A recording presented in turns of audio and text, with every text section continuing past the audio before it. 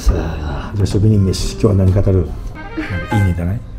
いいネタ？でもワンチャンドッキリいけるっすよね監督あ？何ドッキリ？まだ隠してることなんか？いや一時自分が辞めるとかって言った時あったじゃないですか。あのままの勢いでちょっとドッキリふっかけてみます誰かにどういうこと？どういうこと？お前ついてきてないでしょ話。どういうこと？どういうこと？お前辞 めるって動画の中で言ったってこと？本ネタで本音。最近？辞めるって言ったの？辞めるかもしれんっていう話をうん。監督にして、うん。それはリアルで？そうです。最近？うん。なんでなんで辞めるって言ったの？ちょいろいろありまして。何辞める俺聞いてないだろそんな。初めて聞いたよな。普通に仕事終わりに、まあ悩みっすよね。うん。悩みでなんで？辞めるかもしれんみたいな。アンチコメントが湧いたで。いやそういうのない アンチコメントで。俺全然大丈夫とか言ってるけど。いやそれはもう何もないですね、何？なんで？なんで？そのなかった？のまあ、やっぱ人それぞれやり方も違って、うん。気に入らん部分もあったの？そうっす。仕事が？そうっす。何？例えば。自分が思い描いてたゴールその日のゴールがうんいけなかったん。で、思い描いてるその作業効率。で自分が入ってる現場でうん。ここまでやりきりたいっていうゴールを決めて、うん。まあ、この人数でこのメンツでみたいな、うん。まで今日はここまでやるぞぞって決めとってそこまでいけんかったこと？うん。でうわーと思うん。ってへこんでて。うん。であーってへこんでたら、うん。まあプライベートの悩みもうん。プラスアルファで来て、うんうん。あれだみたいな。うん。やめようかなみたいなので、うん。監督に相談しましたうん。それあ別で二人きりで？みんなの前とかじゃなくて？はい。うんうん。覚えてんの？もうお前覚えてないだろ最悪。お前うん？みたいな顔して。るは？なんで喋れよお前じゃ なんでお前壁かお前は。でほんででまあその後ぐらいにうん。飲み会やるぞっつって、うん。もうプライベートとか全部置いといて、うん。全て置いた上で飲んで、うん。楽しくなって、もうその話はもうあああない。そのその辞めたいっていうのはね現場がうまくいかなかったですそんなに例えばいろいろな要因があるじゃん。自分がうまくいかんかった話なのかなんかそういうまあ後から入ってきてるもんでだからその先輩のやりづらさでうまくいかなくて辞めたいってそれ辞めたいって意味なのかな自分がうまくできなかったこと自分がに対して。うまくできなかったしそれに対して辞めたいっていうのはなんでどういうこと？塗り替え道場入って何かの制約があるわけじゃん。その先輩がおるからちょっとやりづらいとかその上の段取りが悪いとかこの現場こうでしょとかの憤りってあるじゃん。そのあ段取りが気に入らんかった。んだ気に入らんというか、多分僕もそれを伝えきれてなくてここまでやりきりたいっていう。うんうん。なんでかなってからやめたいっていうのが分からんけどそのななんかその邪魔されたってこと？ちょっといただきますしましょうかいただきます。いただきます。正直言うと、うん。まあ翔くん。うん。あショートぶつかったんだ。そうっす。で、うん。まあ、うんうん。先輩だし、ん。まあ翔くんが思う段取りもあるんだろうなと思って、うん。あだけどお前が頭でずっと入っとったもんでそうですねでまあ翔くんが思うゴールがあったんだろうなっていう感じで、で朝自分はここまでやりたいですって言えなかったっていうのもあって。うん。いやー仕事やりづらいなみたいなこっちに自分が合わせないといけないのかなとか。でも後日入るのまた自分だしなみたいなうん。うんうん。の格闘直接はぶつかってないの現場では。難しいないいや最初からお前がずっと入ってたってこと？だろそうです。ああうんどの使い方だな。うん。でそれで悩んどだ。悩んでました、うん。でまあいろいろ話してカンタ君にも相談し。て、うん。まあカンタ君が一番付き合い長い、うん。うん。どういうアドバイスした？の気になるな。いやでも同性論に。うん。それはお前も言わなきゃ悪いんだよって、うんうん。朝の段階でここまで決めたいって思ってるとこがあるならそれは言わんといかんわ。うんうん。結局滝が組みたかったところの材料しか持ってきてなくて、うんうん。中の吹き上げの分の材料がうん。持ってきてなかったらしいんですよ。あひき抜け君だったよな。あそうそう。あその分の材料を持ってきてなかったらしいんですよ滝はうん。一番上を決める予定だったんで人数うんうんうん。がいけそこでまず行き違いがあ発生しているのと、あうん。どどういうふうに行き違いが発生したの？もう翔が勝手にもう俺らここ組むでなみたいな。いやある程度材料はうん。貯めて貯めたら俺ら吹き抜け手つけるからうん。少人数で上に上げた材料を組んできてっていう。でお前も「あ分かりました」みたいな。ああそういうことな。そそこで材料が足りんくなったの。あなるほどな。うん。でもお互い材料が足りんくなっちゃってみたいな、うんなんか来るかななで結局そこでさっきもその時点で言えなかったの悪いしうん。あのショーもそうで、まあ、任せとるなうん。らそこはうん。立てて聞いてあげた方がよかったのかでも勝手に組み始めたわけじゃないんだろ？そうっすね。ま他にやってくわひひ一言ばって言って。いやショーのツンデレ感はわかるけどでもなんか俺も例えばじゃあさ自分でさやっとってさ俺がまず現場現役で出とるとしてね、はい。で入ってったら変にじゃあ気使って「まあいいよ俺あっち組んどくわ」とかいうふうに言っちゃうかもしれない。その材料見てなかったらで変に気使ってやったかもしれないなそれって。そういう感じじゃない？いやでも 本心は分かんないんですよ、うん。本心はそこの話に関しては話をせずうん。和解してるんで。若いとねあほんで空気悪くなったの？一時もう自分喋れなかったですね。3日間もなんでそそその何？その分かんない。そのぶつかった意味が分かんない。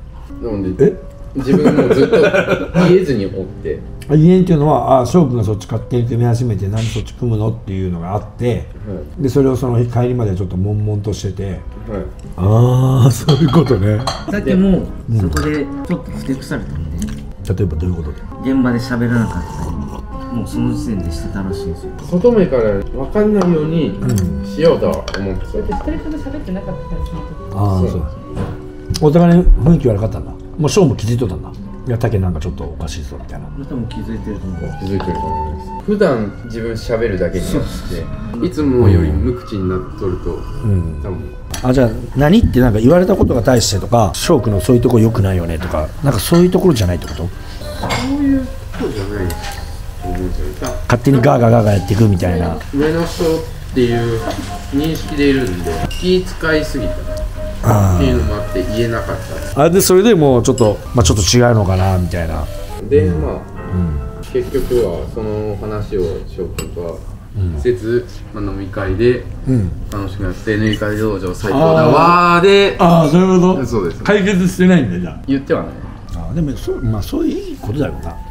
お前がそうやってまたじゃあショーが気使ってでまたショーもやっぱ出たいじゃん。俺も出たいもんね。やっぱ動画でもこれはもうこうしたいって決まったらこう出すじゃん。はい自分を出すから。でそれに対してやっぱ僕は嫌それは嫌ですとか。はいまあそうじゃん岡部とかでも「いやこれはネタにしたくないです」ってはっきり言わんと俺も圧強いじゃん。